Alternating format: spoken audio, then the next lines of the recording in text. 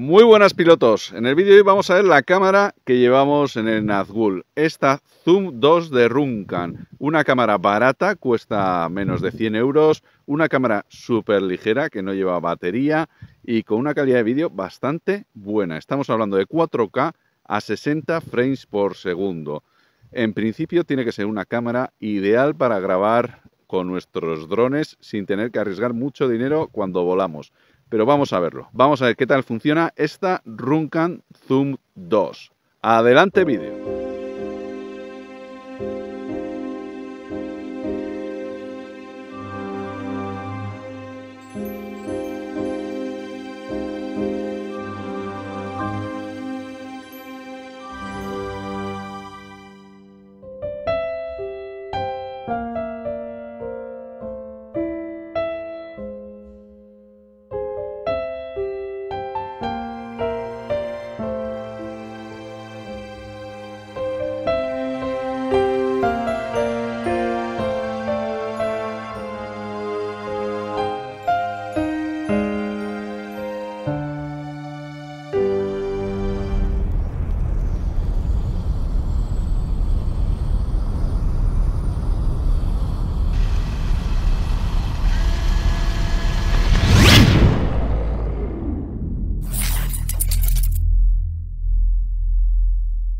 Primero veremos, por supuesto, qué es lo que nos trae la cámara, que es la cámara en sí, instrucciones, unas, unas piezas TPU que nos sirven como soporte. Esta nos vale tanto para los soportes chiquitines como también para los soportes de GoPro grandes.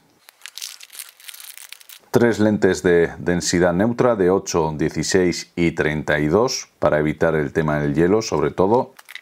Y cables de conexión, por un lado USB y JST, que los podemos conectar a la controladora y de esta forma, bueno, por un lado alimentaremos la cámara, lo más importante, y por otro lado también podemos controlar la cámara, por ejemplo, desde la emisora. Aparte, también tenemos el tornillo para las sujeciones. Esta es, por lo tanto, la camarita, la Zoom 2. Eh, veis que tiene un acabado muy chulo, muy moderno, muy cuadradito, muy minimalista.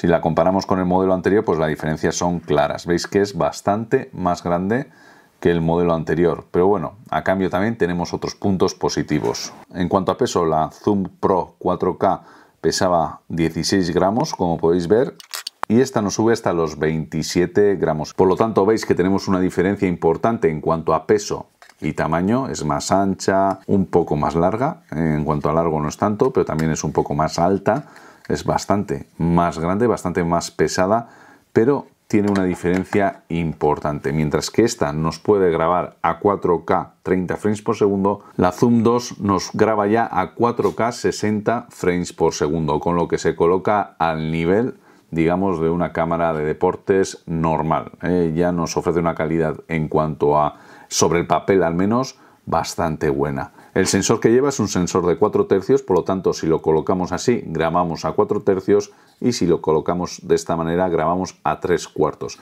Esto nos posibilita pues más o menos poder grabar eh, con la misma orientación de cámara a 16 novenos o 9 16 avos. Esto es vertical o horizontal sin ningún problema.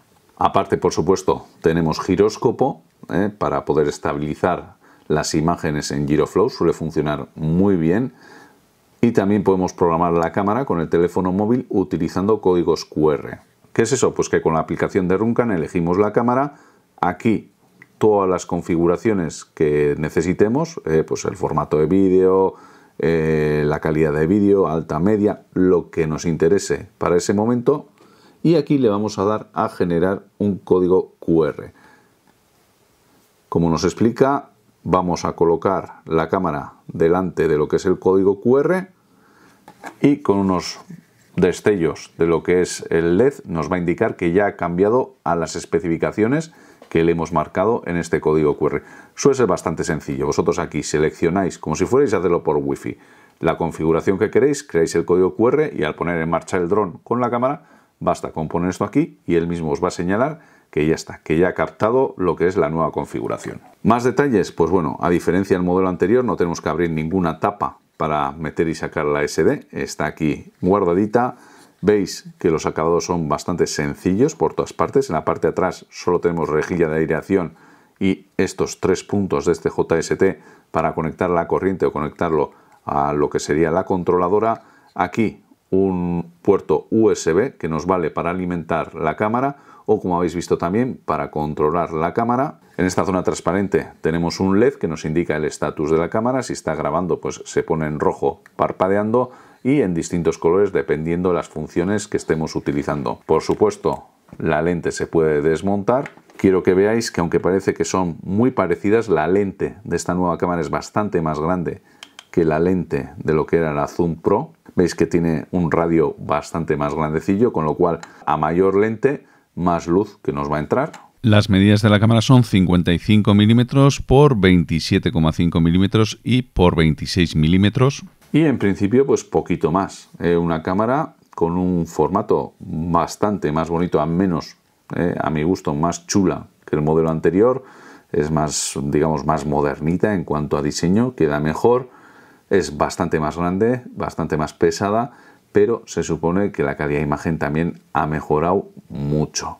Podemos incluso hasta en 1080p, en Full HD, grabar a 120 frames por segundo. ¿eh? Eh, por supuesto, grabación en MP4 y sensor IMX586 de 48 megapíxeles. Comentaros que para conectarla al dron, en vez de conectarla directamente a la controladora a la salida de 5 voltios, que se puede hacer, he utilizado este adaptador que venden en AliExpress, que es de eFlight, y lo que hace es conectar por un lado el adaptador a lo que es la cámara, en este caso lo he hecho pues adaptándole el cordón que traía de JST, podéis hacerlo directamente, este sí trae un USB-C, podéis ya conectarlo al USB-C, yo lo tenía preparado del anterior, que solamente era el cable, así está bien, si no, si no queréis andar soldando, al USB-C, y esto lo conectamos al puerto de balanceo. Veis que se enciende la luz y también se nos enciende la camarita. Ya está lista para grabar. Y de esta manera tenemos opción de utilizar la misma cámara con distintos drones sin tener que andar soldando ningún cablecillo a lo que es eh, la controladora o un BEC o lo que fuera necesario. Yo creo que en este caso es un buen invento. Os dejo también el link para este cacharrito, para este adaptador, abajo en la descripción del vídeo. Pues muy bien, ya os he presentado la camarita, ya la conocéis y ahora lo que voy a hacer es volarla en mi dron y a ver qué podemos grabar con este bichillo.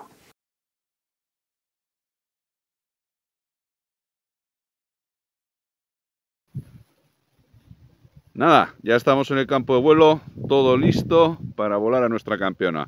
A ver cómo nos graba.